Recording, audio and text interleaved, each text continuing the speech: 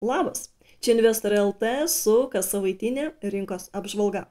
Kaip įprastai, šiame video pasiaiškinsime, kokios pagrindinės naujienos judino finansų rinkas. Aš pasidalinsiu keliais savo sandoriais, na ir kaip visada pasikalbėsime apie artimiausias perspektyvas ir idėjas, kurios mums galbūt dabar atsiveria. Todėl, jeigu įdomu, lik kartu iki video pabaigos Ir jeigu patinka kuriamas kontentas, tuomet nepagailėk savo laikų, na ir būtinai prisijung prie Investor LT bendruomenės. Tiek čia, tiek mūsų Facebook grupėje tuo pačiu pavadinimu. Kaip įprastai, pradėkime nuo pagrindinių indeksų grafikų. Taip vadinamas technologijų indeksas Nasdaq Composite per savaitę prarado daugiau nei 2,5 procento, Matyt, atėjo laikas šiek tiek atvėsti toms įmonėms, kurios įeina į šį indeksą. Aš priminsiu, kad per šiuos metus Nasdaq indeksas paaugo beveik 30 procentų. Na, gal dar kiek anksti kalbėti apie stipresnį rinkos korekciją, tai žiūrėsime, kaip rinkos judės kitą savaitę, bet po šios savaitės jau matome, kad didžiųjų technologijų kompanijų ralis slopsta, dirbtinio intelekto hypas taip pat vėsta, na ir įmonės po truputį koreguojasi. Tuo tarpu pramonės indeksas Dow Jones per savaitę nusileido kiek daugiau nei 2 procentais, tačiau jis priešingai nei Nasdaq indeksas per šios metus labai stipriai neaugo, vos tik beveik 2 procentais yra aukščiau nuo metų pradžios. Na ir SP 500 indeksas, kurį dažniausiai stebime, per savaitę taip pat prarado 2 procentus, užsidarė ties 4348 punktais o vertinant tik šiuos metus indeksas yra paaugęs beveik 14 procentų. Todėl jokio negatyvo po šios savaitės ryškesnio išsipardavimo dar nėra. Kaip matome, visi trys pagrindiniai JAV akcijų indeksai vertinant šiuos metus vis dar yra teigiamoje zonoje, nors po šios savaitės nuotaikos jau nebe tokios optimistinės, todėl žiūrėsime, kaip rinkos judės artimiausių metų.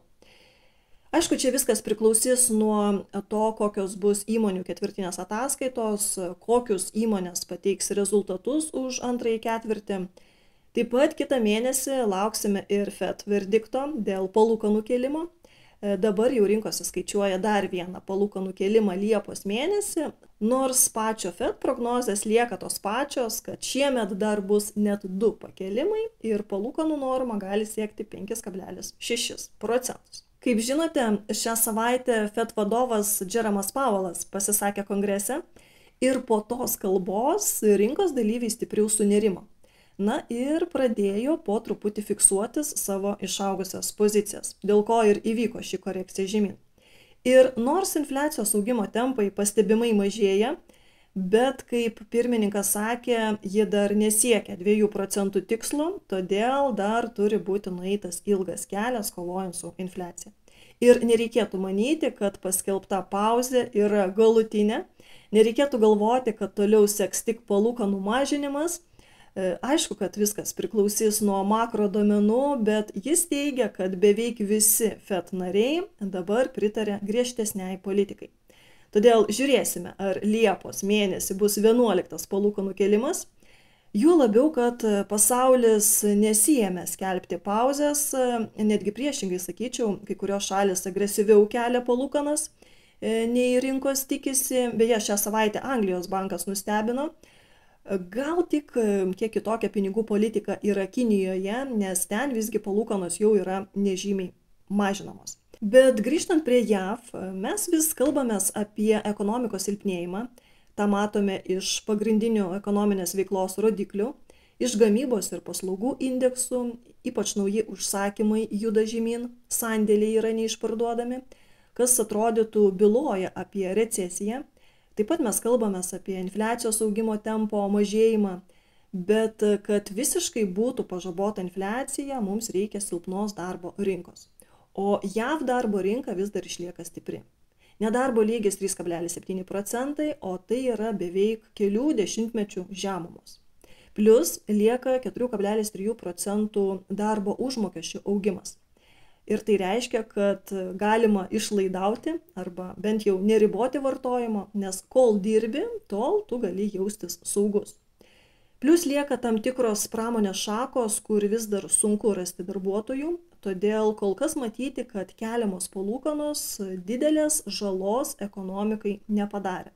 Nors prisipažinsiu, aš tikėjausi, kad visą tai pamatysime daug greičiau, aš tikėjausi daug didesnio smūgio nekilnojamam turtui, bankų sektoriui, na bet kol kas to nėra, todėl kova su infliacija nesibaigė, na o investuotojui tenka veikti tose sąlygose, kurios dabar formuojasi.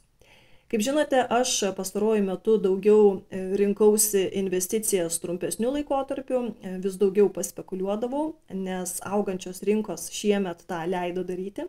Todėl didesnius pliusus fiksuodavau, e, ypač jau perkaitusiuose pozicijose, tam, kad kai rinkos atvės, aš nepritrukčiau kešo. Bet šią savaitę aš jau agresyviau rinkausi short pozicijas. Viena sėkmingiausių pozicijų buvo per dirbtinio intelekto hypą išaugusios kompanijos tikerių AI, lietuviškai AI. E, apie ją kanale jau mes esame kalbėję, kuomet stebėjome stipriai išaugusias kompanijas. Beje, dar prieš jos stiprų šuolį į viršų, e, vienas pažįstamas investuotojas buvo ją įvardinęs kaip potencialią raketą ir jos spėjimas buvo teisingas, bet aš tuo metu nepatikėjau šią idėją o dabar surizikavau statydama ant jos kritimo. E, beje, prisipažinsiu, tai nebuvo mano vienos idėja, tai daugiau bendra idėja su kitu investuotoju, kuomet panalizavome šios kompanijos perspektyvas ir visgi prieėmė išvadą, kad čia galėtų būti įdomios opcionų ar short pozicijos.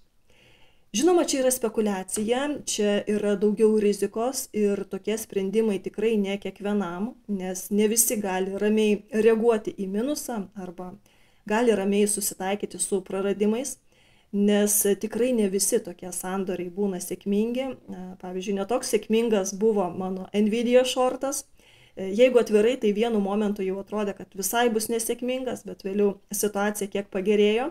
Taip pat šią savaitę aš šortinau ir Palantir, ir Tesla, ir Netflixą, na ir kitas labiau išaugusias kompanijas.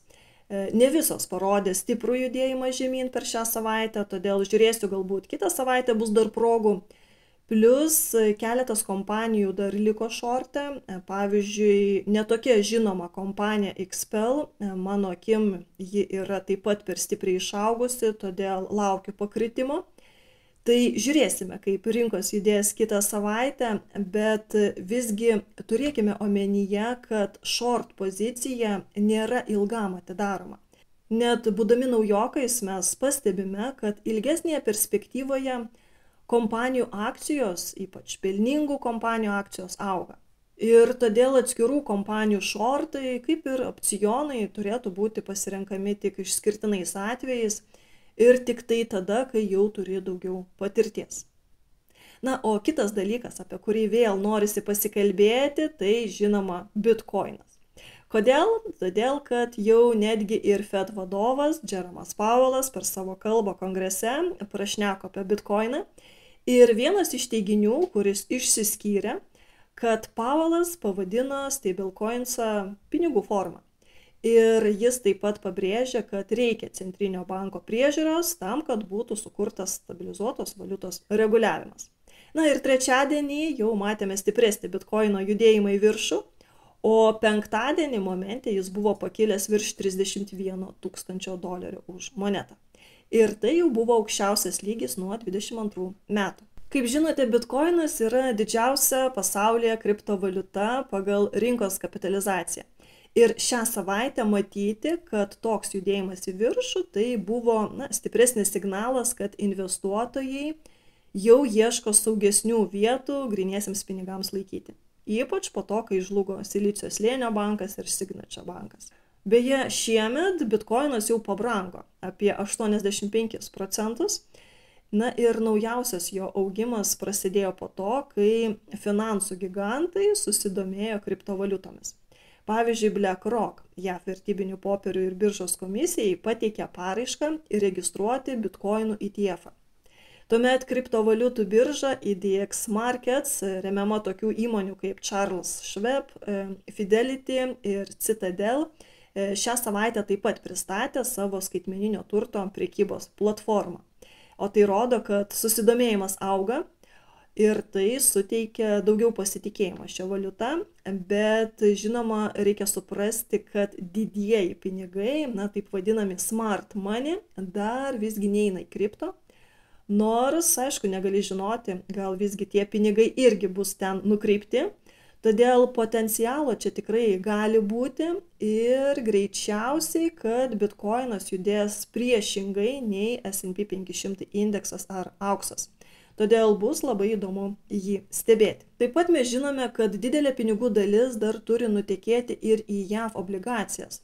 Todėl mums svarbu nepražiopsoti galutinio palūkanų kelimo ir tikėtina, kad prieš paskelbent palūkanų mažinimą JAV trežeris turėtų stipriau judėti į viršų. Todėl aš vėl po truputį pildausi DTLA poziciją, apie tai jau mes kalbėjomės ir anksčiau, tai priminsiu tik tai tiek, kad tai yra europinis ETF, kuris seka JAV obligacijas. O grįžtant prie kripto, tai nereikia pamiršti ir SEC vaidmens. Mes jau kalbėjomės, kad JAV reguliavimo institucija na, užsidegė susidoroti su kripto biržomis, todėl padavė į teismą Coinbase kuri yra didžiausia JAV kriptovaliutų birža, teikdama, kad na, Coinbase'as veikia kaip neregistruotas brokeris. O dieną prieš tai Sekas dar padavė į teismą ir Binance, Binance, kaltindama bendrovę irgi, kad ji veikia nelegaliai ir kad ji neva sumaišė klientų turtą. Nors gali būti, bent jau taip teigia pačios biržos, kad jos tikrai kreipėsi dėl šių leidimų, bet tie leidimai taip niekada ir nebuvo išduoti. Plus mes jau kalbėjomės, kad nėra aišku, kaip reiktų traktuoti kriptovaliutą, ar tai yra turtas kaip akcija, ar tai yra prekia, todėl neaišku, kas turėtų juos kontroliuoti ir reguliuoti. Todėl čia irgi įdomus dalykai vyksta ir kaip matom, na, investavimo pasaulyje tikrai niekada nebūna nuobodu. Todėl toliau seksime įvykius, na ir žiūrėsime, ar grįž investuotojų pasitikėjimas po FTX žlugimo, na ir po kitų bankrotų Ir kitas svarbus momentas, ar visgi čia eis tie didieji pinigai, kai pavyzdžiui pradės mažėti palūkanų normos, kai vėl bus skatinama ekonomika, ar bitkoinas grįž prie 21 metų aukštumų, o gal net ir tas aukštumas viršis. Aš priminsiu, kad tuomet bitkoinas buvo prekiaujamas už daugiau nei 60 tūkstančių dolerių. Na, bet kuriuo atveju investuotojams užsidirbti variantų yra ir, ir jų bus, reikia tik tai mokėti atsirinkti. Ir jeigu kalbėti tik apie akcijas ir jų atsirinkimą, tai visų pirma siūlyčiau pasižiūrėti, kokios kompanijos dabar labiausiai pasikoregavo ir tada giliau pasidomėti, kokios yra jų perspektyvos artimiausių metų.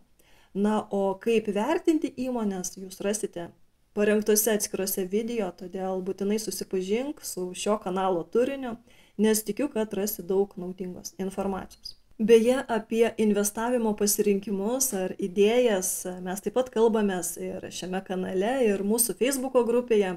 Ir pavyzdžiui, po šios savaitės korekcijos man vėl tampa įdomios alternatyvios energijos kompanijos, tarkime, Enphase Energy. Aišku, ji dar gali pasikoreguoti, bet vienu pusantrų metų laikotarpiu aš tikiu, kad ši kompanija auks taip pat po stiprios korekcijos neatsigavo ir vis dar įdomi lieka kompanija Charles Schwab. Na ir kiti finansinio sektoriaus emitentai, todėl idėjų visada yra ir renkantis atskiras kompanijas į, į savo portfelį.